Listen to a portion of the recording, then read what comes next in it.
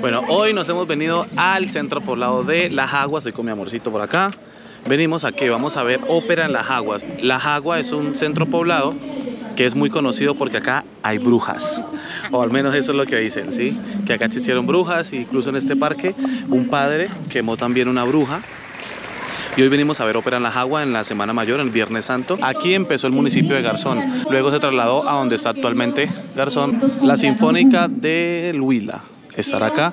Son más de 100 artistas en escena y por supuesto siempre organizan con sillas y todo súper, súper, súper bien arreglado para que todos disfrutemos de esta, esta hermosa presentación que habrá de la Sinfónica. Las palabras de protocolo y ya empieza la Sinfónica a hacer su show. Y con mucho amor en las familias. Todas las personas están cómodas aquí sentados, ya. Si ustedes no conocen, no conocen las aguas, deben de conocer el pueblito de las brujas. Muchísimas gracias. Michelada, michelada, michelada. dándole la bienvenida a propios y visitantes. espiritual de esta parroquia de la Inmaculada Concepción para que empiece. y que nos recibe con su bendición para por lo regular siempre hacen este evento en la noche este día hoy quisieron cambiar y lo hicieron en el día y se ve genial también aparte que hoy llovió todo la mañana y parte de la tarde. buenas tardes para todos. Pero para el concierto se abrió el cielo, miren esto, y está súper. Vamos a disponernos entonces. Vamos a recorrido mientras empiezan. al buen Dios. Mientras empiezan. Que nos bendiga. Ya la sinfónica con su presentación. Que bendiga este y les vamos a mostrar un poquito de lo que es la jagua. Te escucha por aquí está el letrero simbólico de la Jagua. También, las personas están aquí disfrutando. Y esta es la foto que todas las personas que vienen a conocer el pueblito de las brujas, el pueblito de la Jagua, tienen que tomarse siempre. Esa es la foto simbólica que todos tienen que hacer, que está el letrero de la Jagua y, por supuesto, la iglesia. Yo te pido, Señor, que bendigas estos artistas. Está la pila y el parque principal. Como les decía hace un rato, aquí empezó la Jagua, por aquí está el Ejército Nacional también haciendo presencia y cuidándonos a todos. Que bendiga, Saludos, bueno, entonces, ese pueblito, como les contaba, es un pueblito de las brujas. Voy a ver si me encuentro por allá Fernando. Fernando es, un, es una persona muy referente de aquí, de este, de este pueblito, y él nos puede contar también las historias que hay aquí. Vamos a ver si por ahí de pronto lo vemos y les contamos un poquito. Tiene alrededor de 384 años que cumplió este año. 384 años. Y vamos a mostrar también un poquito de su iglesia. Te doy gracias, Señor, por esta tarde. Porque están preparando, imagino que los santos hoy para Viernes Santo.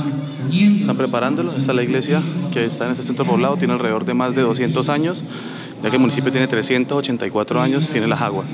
Y sí, por ahí está Fernando. Allá al fondo, el que está de negro es Fernando. Vamos a ver si le podemos hacer algunas preguntas. Sigan hablando de este templo que es súper, súper bonito. Ah, están organizando todo.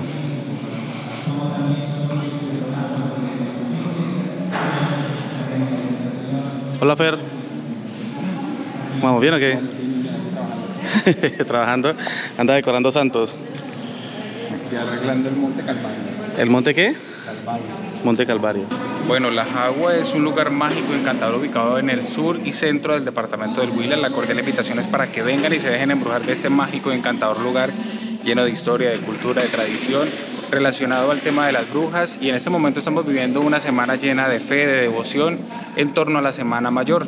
En estos momentos estamos arreglando el Monte Calvario donde será esta noche un evento muy importante para la religión católica donde conmemoramos eh, la muerte de nuestro Señor Jesucristo. Bueno, ahí tiene lo prometido de deuda, sí, yo les dije que iba a contar algo de lo que es la agua y, y y ahí Fernando nos habló un poquito. Este centro poblado tienen que ir a conocer, ya que es uno de los lugares turísticos más representativos que tiene el Huila, porque tiene 384 años. ¿Qué quiere decir esto? Que este pueblito fue creado los años Jupa. Y aquí vivían también muchas tribus indígenas. Cuenta la historia que en este pueblo llegaban también los españoles a hacer lo que hicieron con los indígenas, y entre esos también vinieron algunos eh, gitanos. Y también hicieron un intercambio cultural de saberes, ya que acá las, brujas tienen mucho conocimiento con todo lo que es la brujería, ¿vale? bueno, todo ese tema. Entonces hicieron un intercambio cultural y los indígenas y las brujas les enseñaban a los gitanos que vinieron y ellos también les explicaban un poco de lo que ellos hacían también porque también tienen su historia detrás de todo, ¿no? Entonces, vean, por aquí la belleza de la agua. Atendido por una chica cuando vengan a la agua. Y las personas les encanta mucho venir acá. Acá uno viene también a tardear, a tomar los deliciosos postres que se ven aquí en la agua. Y es un pueblito muy mágico. Las carreteras son todas así en piedra, son empedradas. Las carreteras son empedradas. Y las casas son muy coloniales, como ustedes las pueden ver ahí, son muy coloniales debido pues que tiene 384 años y pues tiene mucha historia. Bueno, aparte de eso también cuenta con esculturas que han hecho el maestro Emiro Garzón, que es de aquí, de esta misma región, de, de La Jagua, y a nivel nacional es uno de los escultores más conocidos. Y él es el escultor también de esta magnífica obra que hace aquí, que está la bruja en su escoba volando y está una tejedora de fique. El fique es como decir la cabulla, que es muy representativa en esta zona. Y las mujeres aquí lo hacen mucho, hacen bolsos, hacen unas artesanías increíbles y son muy, pero muy apetecidos, ya que el fique todo es una, elaborado a mano. Son como los bolsos, digamos, guayú, pero acá los hacen con cabulla también y se llama un fique. Ya está la bruja porque el, volando desnuda, el mito es de que ellas vuelan siempre desnudas. Los invito también para que conozcan a, las obras que hace el maestro Emilio Garzón, que son muy representativas y siempre son mujeres voluptuosas con unos cuerpazos y muy pero muy bonito. Bueno, ya empezó Ópera en la Jagua, entonces vamos a mostrar la Ópera en la Jagua que ya empezó. Aquí la gente siempre viene a tardear, a sentarse un parche- parchecito en, el parque, a ver todo lo que pasa, Hola. de familias y demás. Siempre vienen a este parque pasar el, do- el- el domingo, pero hoy como es Viernes Santo, parece domingo. Todos están por aquí sentados disfrutando de Ópera en la Jagua que ya inició. Pero los voy a dejar con esta de Ópera en la Jagua.